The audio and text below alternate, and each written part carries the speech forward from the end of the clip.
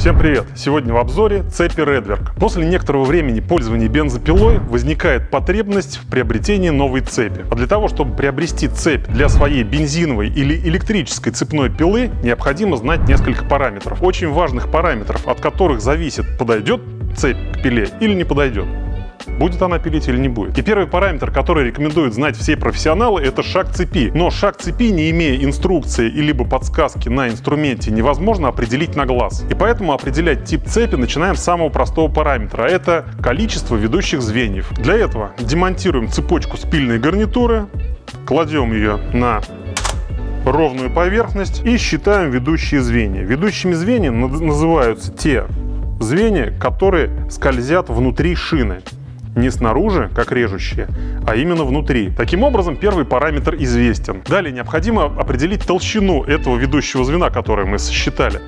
И для этого необходим инструмент штангенциркуль. И этим инструментом измеряется толщина ведущего звена. В бытовых условиях это, конечно, сделать бывает непросто. А не у всех есть штангенциркуль. К сожалению, линейка не всегда поможет для того, чтобы измерить толщину ведущего звена. Ну а третий параметр, который обывателю практически невозможно определить на глаз, это шаг пильной цепи. Он высчитывается очень сложно, от одной заклепки до второй, делим напополам, получается 0,325 либо 0,375. Это все в дюймах, это очень все заумно и непонятно. Поэтому не надо заморачиваться, Нужно просто взять свою цепочку, приехать в магазин и подобрать аналогичную при помощи продавца.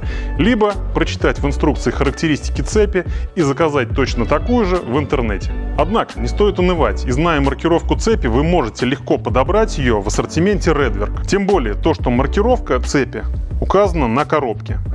3 восьмых шаг, 1,1 толщина и 50 ведущих звеньев. В ассортименте Redwerk есть две серии пильных цепей. Это серия NT и серия NT Nano. Отличаются они друг друга в первую очередь по цвету. Одна черная, вторая золотистая и по некоторым техническим характеристикам. Ну а на витрине магазина их можно отличить по упаковке. Цепь серии NT, она в бумажной упаковке с таким вот окошком.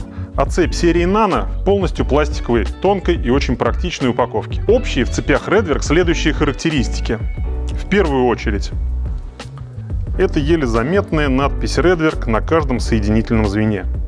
Ну а более существенно это хромированный режущий зуб, это полированная заклепка и отверстие в ведущем звене. И это очень важное отверстие, так как в него попадает смазка которая при движении протягивается по всей пильной шине, тем самым продлевает срок ее службы. Ну а различия между этими цепями всего два. И это два очень существенных различия. В первую очередь это защитное покрытие цепи. Как я ранее говорил, у черной цепи оно стандартное, а вот у золотой цепи оно необычное. И это покрытие из нитрида титана. И именно это золотое покрытие вы могли наблюдать на сверлах по металлу. Второе существенное отличие – это форма режущего зуба. На стандартной пильной цепи черного цвета форма режущего зуба полукруглая. А на золотистой цепи NT Nano режущий зуб имеет форму прямоугольника. И это позволяет делать более точные направленные резы. То есть в процессе пиления пильную шину и цепь не будет уводить вправо или влево. Но этот прямоугольный зуб есть только на двух типов шага пильной цепи,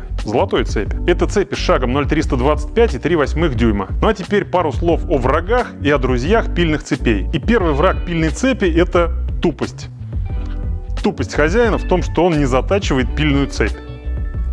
Нормально? Ну а тупость пильной цепи приводит к таким плачевным результатам. Цепочка просто не пилит, цепочка растягивается, повреждает ведущую звездочку, повреждает ведомую звездочку, то есть она выводит из строя всю пильную гарнитуру. Поэтому очень важно постоянно контролировать заточку цепи. Если она немного затупилась, то ее необходимо подточить. А определить это очень просто.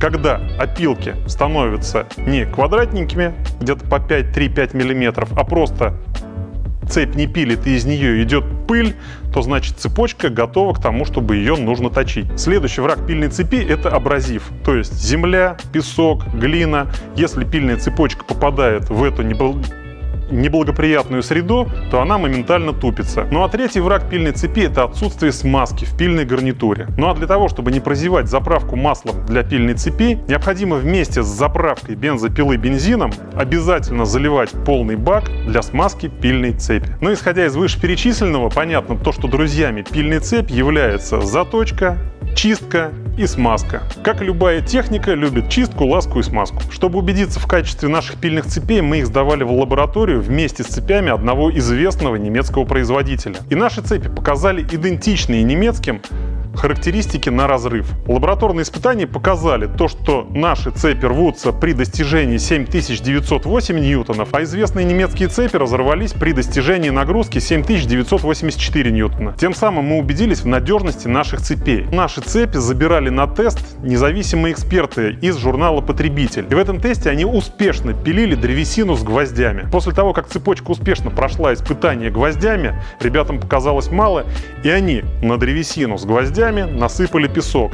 И следующий рез цепочка также выдержала. Таким образом, перед вами в очередной раз уникальный продукт от компании Redwerk. Но я с вами прощаюсь. Ровных, быстрых и безопасных резов со оснасткой фирмы Redwerk.